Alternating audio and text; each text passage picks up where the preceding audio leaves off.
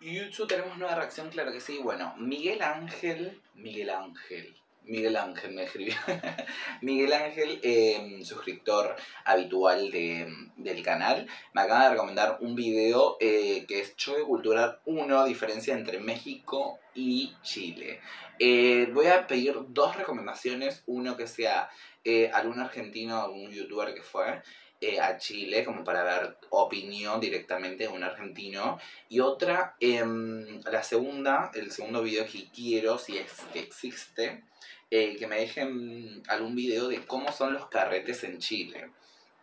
Quiero saber eh, la noche chilena, la discoteca, el boliche, el quilombo. Claro que sí. Bueno, em, me dejo de hablar pavadas y vamos con el video, tío. No se olviden de, suscribirse, recomendaciones al Instagram o en los comentarios, lo voy a estar leyendo. Y vamos al tiro. A ver. Hola queridos, ¿cómo están? Bueno, pues como ustedes ya saben, y los que no, bienvenidos, deben ser nuevos en este canal, estuve de intercambio el semestre pasado en Chile. Ahora, estando allá, subí a mis historias Che, algún mexicano o algún eh, chileno que me deje algún video también de, no sé, ya sea un chileno en México o argentino en México para hacer el choque cultural también de México.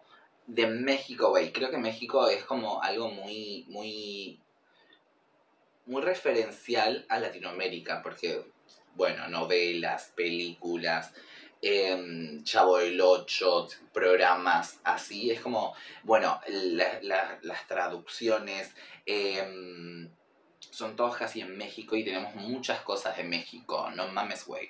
Em, me gustaría un video así también. Tercer video que me puedan dejar en los comentarios al Instagram. En Instagram, que por cierto, si no me siguen, arriesguense. Vida solo hay una.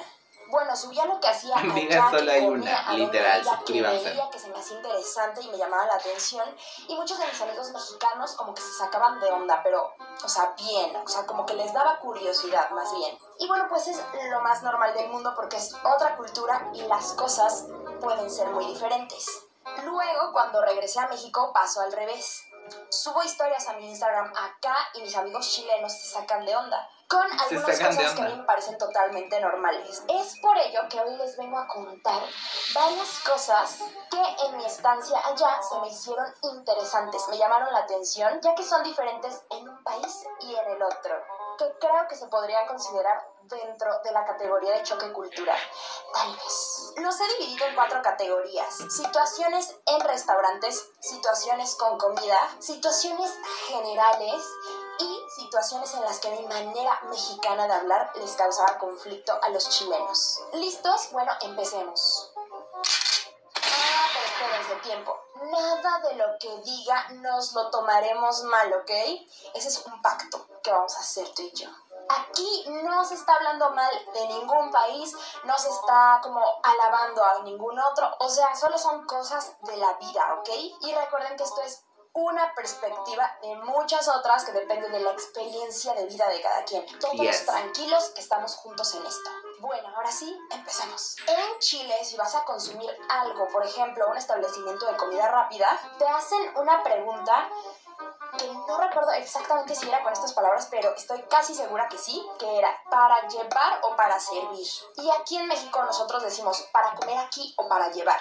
Entonces, Ay, acá en Argentina también. para llevar o para servir. Para comer o para llevar. mis amigos mexicanos y yo nos quedábamos como en blanco procesando la información, porque en un primer momento eso suena raro. Uno de mis primeros días en Chile Sí podría sonar raro, pero como yo tengo mucho video y ya estoy metido con, muchas jergas chilenas, podrías tranquilamente, por lógica, sacar. Tampoco es tan difícil, güey. Le fui a comprar una hamburguesa y cuando me preguntaron para llevar o para servir, yo en medio de mi confusión confundí con la persona que me estaba atendiendo porque dije así como, o sea, sí sírvamelo, pero me lo voy a llevar. Y nada más nos quedamos viendo como... Sí, claro. Sírvalo, pero para llevar. La presencia pone en peligro mi vida. Por suerte, un hombre que estaba por ahí y que tenía al parecer más noción del asunto que nosotros dos, tradujo todo el show, muy amable, la verdad. Todo el show. Hasta ahí todo bien. Después. Esta chica es tan mexicana, la adoro, es muy mexicana. Que me atendía me dijo, ¿cómo cancela? Y yo como de, o sea, no, no, es que no, no, creo que no me estás entendiendo. Mira, es que no quiero cancelar, o sea, quiero seguir con el pedido de mi comida, o sea, no quiero eliminar esto en mi vida, o sea, quiero seguir con ello. Entonces ahí se volvió a acercar tu tío en buena onda y dijo, no, no, no, te está preguntando que cómo lo vas a pagar. Total, pagué con efectivo y luego el que me atendía me... What the fuck? ¿Cómo lo va a cancelar? ¿Saben que es, esa frase ya lo escuché alguna, en algún lado? No sé en qué país. Pero literalmente eso lo, lo utilizan. Acá no, acá no se utiliza eso. Acá directamente decir, ¿cómo lo vas a abonar? Sería cómo lo vas a pagar, ¿no? Sin efectivo en tarjeta. Dice, te doy tu vuelto al tiro. Ay, te doy el vuelto rápido. Si yo ya soy un... Ah, estoy así de ser chilena. a los tiros. yo comprendí todo, no, la verdad no, pero después ya comprendí bien las cosas eh, con el paso de los días. Bueno, siguiendo con el tema de restaurantes, me gustó mucho algo. A ver, vamos a ponernos en situación. Imagínate que tú y yo vamos a un restaurante, mm, ya sea en México o en Chile, ¿ok? Vamos a un restaurante con un grupo grande de amigos. Todos nos sentamos, vemos el menú, cada quien pide lo que se le antoja comer ese día, nos traen, platicamos, nos reímos, comemos, una felicidad inimaginable. Hasta que llega el momento de Te sabe hacer el cuento la mexicana. En este punto las cosas van a cambiar, ¿ok?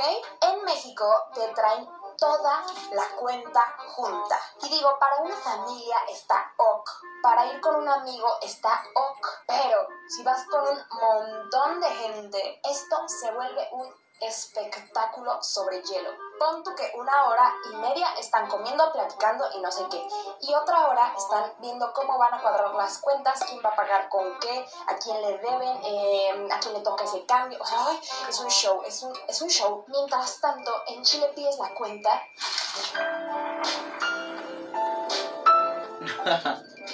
Cuentas separadas. Gracias a quien entendió el estrés eso sucede, ¿saben que acá sucede de dos maneras, ¿no? Puedes pedir directamente, usualmente es como una boleta para todos y que se dividan todos, ¿no? Eh, y empiezan las transferencias bancarias. Pero eh, se podría llegar a pedir, es mucho quilombo, es mucho, muy, muy... Usualmente el sistema que tienen los restaurantes acá es como, bueno, se divide una mesa, listo, aunque sean 30, es como una mesa para ellos. Se podría pedir diferente, se puede eh, eh, imprimir eh, tickets diferentes con el plato de cada persona, ¿no? Pero realmente eso no sucede, se puede pedir, pero no sucede. Directamente te imprime una boleta y decir, listo, acá está tu cuenta, 8 millones de pesos directamente, como estamos en Argentina. Entonces ya cada quien se encarga de pagar como pueda, como quiera, como se le antoje, lavando trastes, yo no sé, pero cada quien se hace bolas con Lavando los platos. Nos evitamos de problemas y todos tenemos gran paz y armonía en nuestro ser y en nuestro día. Bueno, ahora, tema 2, la comida. Acá en México, a ver, déjenme ir por un producto random, esperen un momento. Ok, acá en México nuestros productos tienen como esto, esta forma de decir eh, pues, ¿qué estamos consumiendo? Te voy a enseñar otro producto así, aleatorio. Por ejemplo, acá, ¿lo ves? Y bueno, obviamente la información nutrimental, pero bueno, eso en todas partes. Mientras los productos en Chile, esta es una envoltura de una cosa deliciosa que no sobrevivió para contarlo. Pero, miren, atrás vienen estas cositas que vienen en México pero adelante, y es algo que muchísimos productos en Chile tienen, es esto. Eso, aunque parezca algo muy tonto, de verdad. ¿Saben que cuando yo descubrí esto, viendo, viendo otros videos de otros youtubers haciendo eh, lo del supermercado en Chile, em, creo que eso se viralizó mucho en Argentina por el hecho de que tomó muy, ese ejemplo de Chile. Pero en Argentina no existía eso de poner las cantidades y grasas saturadas, qué sé yo, y ahora sí. Como que este año, o fue del año pasado, es como. Yo sé que solamente lo tenía Chile porque me, eh, es una reacción ya muy, muy. ya ha pasado el tiempo. Eh, y eso no existía en, en Argentina, pero de hace muy poco, será, no sé, un año o dos, eh, Argentina empezó a implementar esto de altas eh, calorías, eh, grasas saturadas, eh, y, ah, lo puedo mostrar, miren, miren, justo, justo, justo estoy acá, miren. ¿Ves? Ah, ay, me da la luz. ¿Ves? Tengo acá. Esto. Y es básicamente una galletita, ¿no? Eh, así que mira, no sabía que tenía esto como para mostrarle. Eh, y, y eso no, no, no existía en Argentina hasta hace muy poco, serán uno o dos años que se implementó eso y ahora todos los alimentos tienen eso, ¿no? Es algo que yo solamente lo vi en Chile, hay que decirlo. Que nos llamó mucho la atención a los mexicanos, o sea, siempre lo comentaban, ya que en México pues pudieron ver que no es así y esto pues parece como advertencia, ¿saben? Así como, como que está muy imponente estos letreritos. Ah, el Ministerio de la Salud dice también. Que no hay crema agria. Ay, me En siento México, chileno. Gran parte de nuestros platillos típicos lleva crema y a mí me encanta. Un día estuve de maratón involuntario junto con mi GPS en busca de, todos los supermercados que hubiera para ver si encontraba crema agria. Sí me enseñaron como un tipo crema, pero no era lo mismo. Pero no importa porque descubrí Sí, otras sí, como como- ese tipo de ángeles. Bueno, ya que estamos en la onda del súper, el jamón se vende muy diferente. O sea, no los empaquetados, sino los que te proporciona la persona que está detrás de la vitrina. Por ejemplo, en caso de comprar jamón en un súper mexicano, puedes pedir que te den rebanadas de distintos jamones para que tú las puedas probar y así decidirte por cuál vas a comprar. Bueno, ya lo ¿no? Ahora, el jamón está completo. Así que lo ponen en la máquina y le cortan una rebanada. Te la enseñan y te dicen, ¿así está bien? Y tú dices, no, mejor más delgadita. O no, un poquito más gruesa, ¿sabes? Luego saca otra y te dice, ¿así está bien? Y tú le dices, no, ¿sabes qué? Tantitito más. O le puedes decir, ay, sí, está bien, ya, súper bien. Y listo, ya las corta todas igual, las cierra, bueno, las empaca y te las da, ¿ok? En Chile, Ay, no, eso sería como muy, muy, muy trabajoso para el empleado. Sería porque siempre hay un, un- un- una persona muy hincha, eh, muy molesta, al que dice, no, más chiquito, no, más grande, un poquito, no.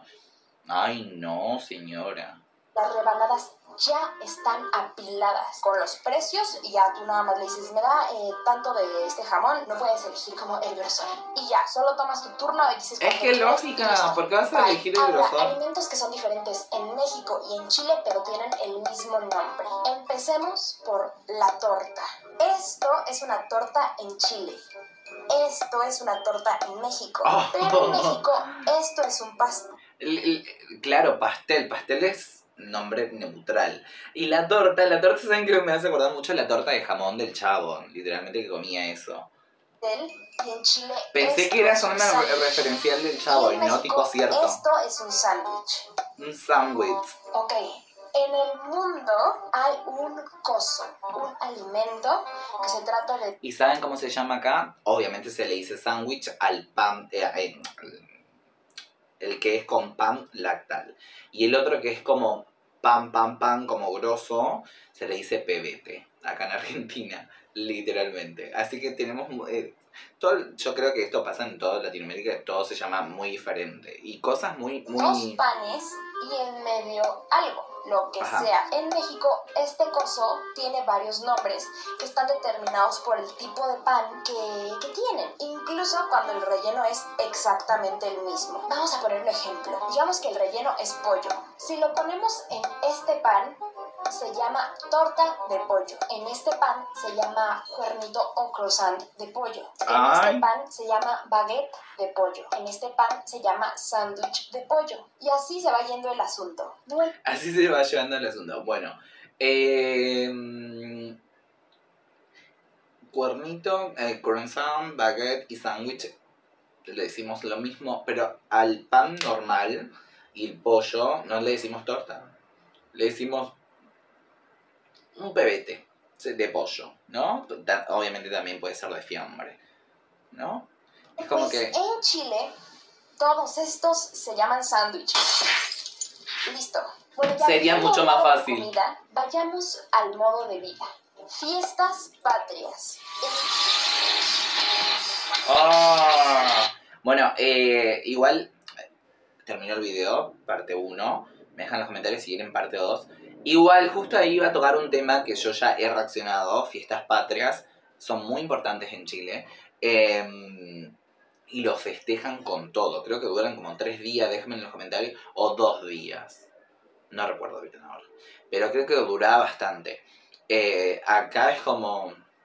Las fiestas patrias es como un acto y se terminó el día. ¿Se entiende? O le meten un feriado, ¿no? Em, eso. Pero como ya lo dije, todo, es choque cultural. Em, y está bueno conocer porque todo el día de mañana, qué sé yo, uno va a Chile y puede no pasar vergüenza si ya conoce estos, estas informaciones que parecen innecesarias, pero eh, son muy relevantes. Em, así que nada, me dejan los comentarios si quieren parte en dos. todos los videos que pedí, por favor, si me lo pueden dejar, si consiguen algún video que ya les comenté que quería, me lo dejan en los comentarios, que yo lo iba a estar leyendo, o en mi Instagram, que respondo a todos. Puede ser que, te, lea al tiro, o puede tardar un poquito, pero siempre respondo y siempre eh, lo termino haciendo. Bueno, yo me despido, suscríbanse, me ayudan mucho con eso, y nos vemos en un próximo video, tío, claro que sí. Ah.